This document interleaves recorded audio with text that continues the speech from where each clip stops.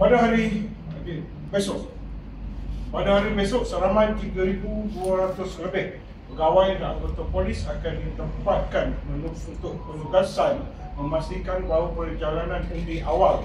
Besok yang akan diundi uh, oleh seramai 22,689 22,689 pengundi awal terdiri daripada polis, tentera dan juga pasangan dan mereka ini mengundi di 63 pusat mengundi dan 86 saluran di mana polis sendiri akan mengundi besok termasuk saya juga lah akan uh, telah uh, akan uh, mengundi di uh, di FPK ini.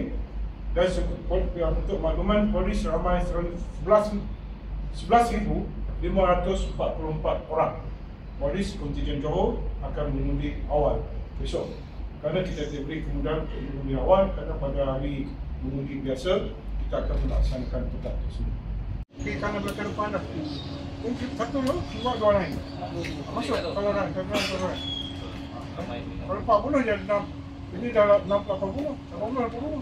Cuma kemah kita saya jaga mak dia takut hujan. Baik, betul betul ini sini. Sini tu dia sampai lah tu. Kampung Dia dapat tu jalan. kalau penuh duduk sini. Di sana ada satu kalau nanti kita